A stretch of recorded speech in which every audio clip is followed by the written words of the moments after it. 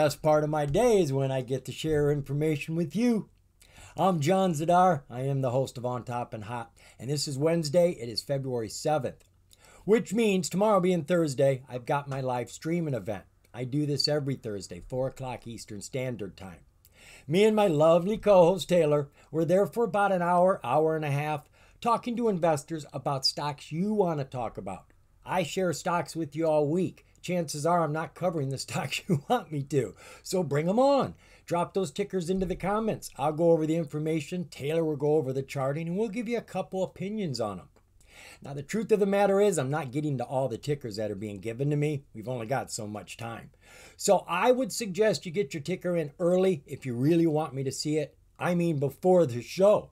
I put up a placeholder for this video around lunchtime. You can drop your ticker in then. First come, first served. So that's going to guarantee we look at it. Plus, that's going to give me more time to go over the information. I'll be able to give you more information. That's 4 o'clock Eastern Standard Time every Thursday. So, what I do on this show is share my due diligence with you on a hot OTC or penny stock. Now, I'm only looking at stocks under five bucks. And you know where I find them? On every market. And I'm looking for stocks that have potential to make money that I can share with you. Now, I normally find these hot stocks by looking at the charts first. I can look at a lot of charts in a little amount of time, and at a glance, I can see if there's heat in a chart. I can see a blue tsunami at the bottom of the chart telling me volume's coming in. I can see the price turning around and getting ready to cut through a strong SMA, a breakout setup. If I find a chart that has heat, then I'll take the time to rummage through all their filings and press releases looking for a catalyst. When I get a hot piece of news to match that hot chart, I've got myself a hot penny stock. And that's what we've got right here. This is Hollywall Entertainment, ticker HWAL. We've never covered this one before, and I only discovered her because of her chart. Her chart is an atypical breakout chart that is getting ready to break out right now in good timing. They just had news come out two days ago. They are changing operations. That means merger and there's a bonus in it for us as well. So HWAL, she finished today at four and a half cents with about 12.5% gains. She is on the OTC, the bottom tier, the pink tier. She is current. She's got that validated information I'm always harping to you about about pinks. Pinks have no validated information. This is the only validated information we get, and it's unbiased. It comes from the OTC markets your verified transfer agent and verified profile. I'm not quite sure what all is being verified, but it's the only information verified with the pink. So I do like to see these here. Now, just because they're not here doesn't mean it's not tradable, but I really don't want to get stuck holding a bag that has no verified information. So, what is this company about? All right, this is what they tell us here. Hollywall Entertainment is an emerging public company at the forefront of development and acquiring telecommunications, technology, media, and entertainment content that operates through a diverse range of subsidiaries and divisions, and which operates within the innovation technologies such as AI, blockchain, NFT, streaming media, 5G, Internet of Things, and renewable energy.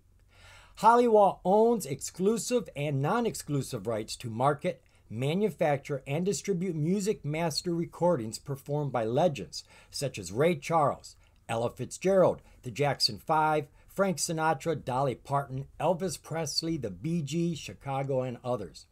So that's what they say they do, but they're not going to be doing it anymore. Not the way I read the news. So, what was the relative volume around the company today? We've got a jump about four and a half times their normal volume, over 400% increase, going from a mere 14,000 shares to a mere 65,000 shares. Not a lot of shares moving, granted, but it is a big increase, and you want to see movement going in the right direction. This is looking nice. Let's take a look at the share structure. That's not bad. Outstanding share count is only about 145 million.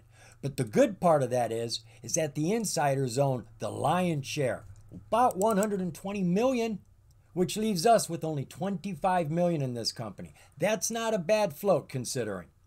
Market cap for the company, we're at about 5.8 million. Financials for the company.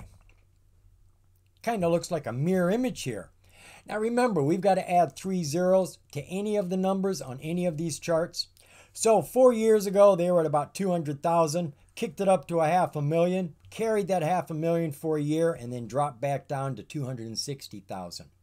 Now, what's really good here is that they get to keep every single dollar they earn. Now, you normally get to do this when you have consultancy, you're just giving people advice, or you have royalties, or you have digital products, which is probably the case for them. Taking a look at those quarterly reports.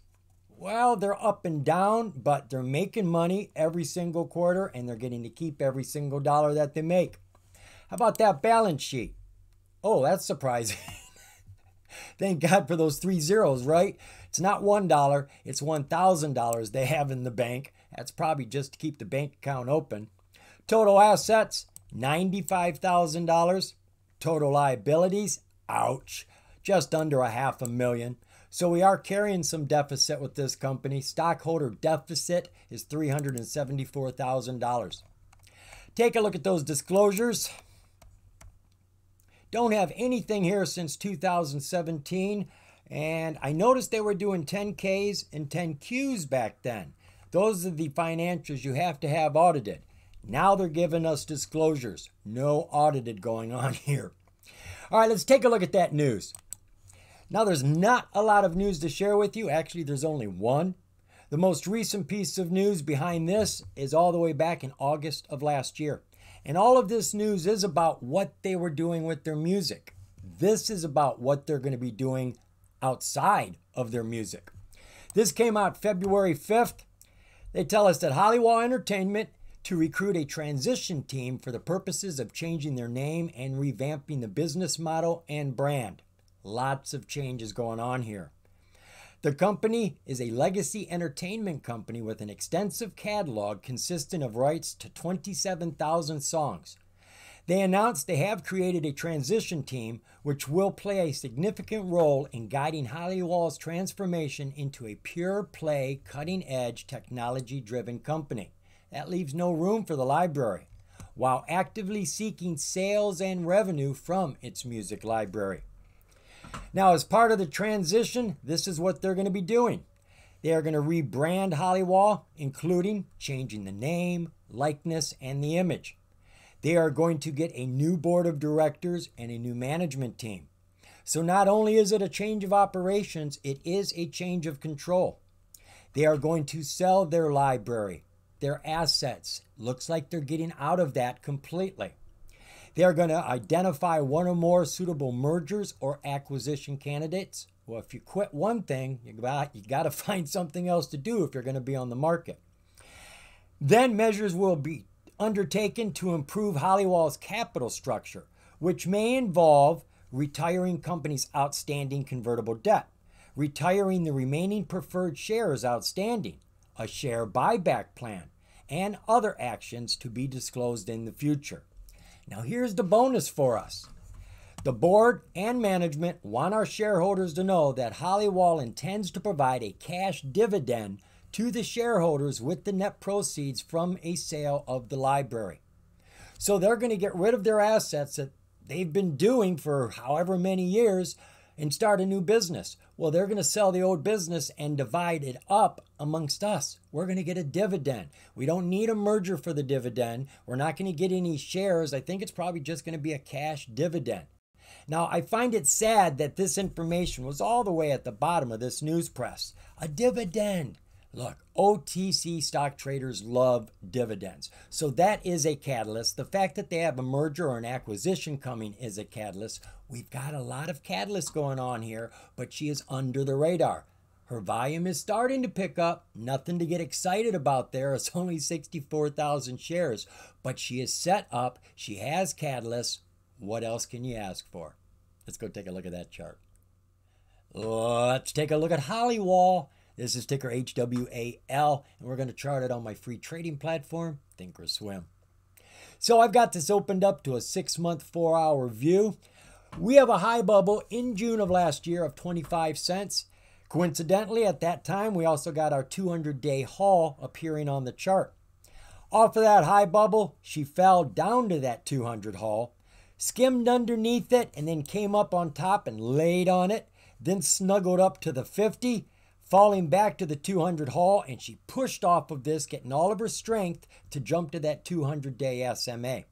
Off of that, she fell down to the 50, bouncing up and down numerous times between the 200 and the 50 day SMA. And then she fell underneath the 50 down to the 200. Now, to me, this is a token sign she's going to break out. We have seen this numerous times. When the price falls back down to the 200 haul and hits it hard, we normally see a bounce through all of the SMAs and a surge. And we see that. We've got our bounce off of it, and she is starting to climb. Lots of green bars, not moving fast, but they are climbing. And right now, she is right up underneath that nine day SMA. It's important for her to get on top. You can't climb till you're on top of the nine. Volume, super weak right now. We need that to come in. That would be a game changer. Our oscillators are looking pretty decent. They got the same arch as our 200 here. Everything is just about ready to turn up. We've got our MACD turning up, our PPO, and our RSI. It is climbing. She started here at 42 and she's currently at 48, which is still a little light for me. Take a look at our 20 day one hour view. Not a lot of bars on this 20 day chart. We're lucky if we got 20 bars. 20 days ago, we had a high of about 10 cents, 9.6. She fell down to the 50, fell under the 50, down to that low of 3.1 cents. And then over the last few days, slowly but methodically, she has worked her way over the 9 and now is sitting on top of the 9. Right? That's a monumental move. I'm not real happy about the 20 day SMA coming down over the 50, but that can easily turn around. Our oscillators, they're still looking good.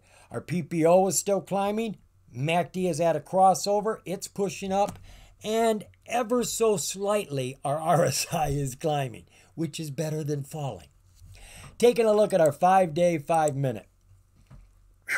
Not a lot of trading going on right now, but the activity has picked up as you can see.